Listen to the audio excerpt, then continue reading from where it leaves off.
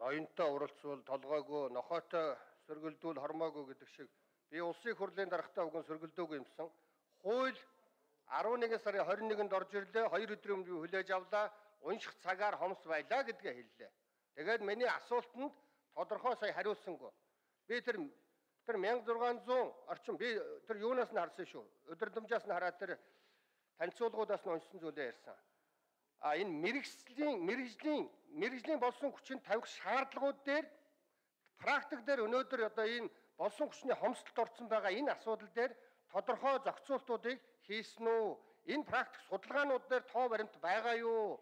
Энэ дээр бол мэрэгсэн болсон хүчин хангалттай байгаа. Энэ шаардлагууд бол хангалттай болно гэж хариулах юм уу? Эсвэл болохгүй байгаа тухайн аж ахуй нэгжүүдийн хийсэн туршлага, тунад хөрөмжүүдийн тэр шаардлагад нь хангалттай байгаа гэдгээр бас энэ зарчмууд орж болох уу гэсэн.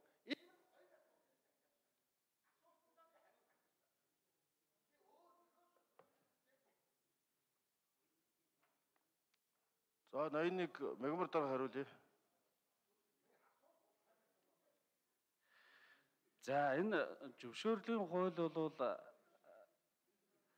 үндэсний аюулгүй байдал, хүний эрүүл мэнд, байгаль орчин за мөн одоо төрийн баялаг нийтийн өмчтэй холбоотой ийм зүйлийг хязгаартайгаар ашиглахтай холбоотой л явуулж байгаа үйл ажиллагаанд бол тусгай зөвшөөрөл болон энгийн зөвшөөрөл олгоно гэдэг энэ зохицуулалтаар батлагдсан.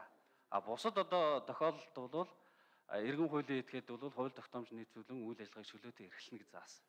Тийм учраас энэ зөвшөөрлийн тухай хууль заасан зөвшөөрөл эзэмшигчдэд бол тавих нийтлэг шаардлагыг бол энэ хуулиар заагаад өгсөн.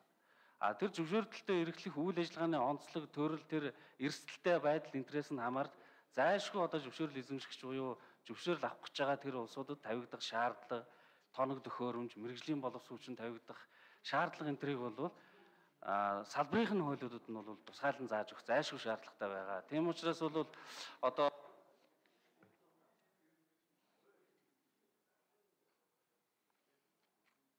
За цэндийн мөнгө хөргөлөх шиг асуулт байна.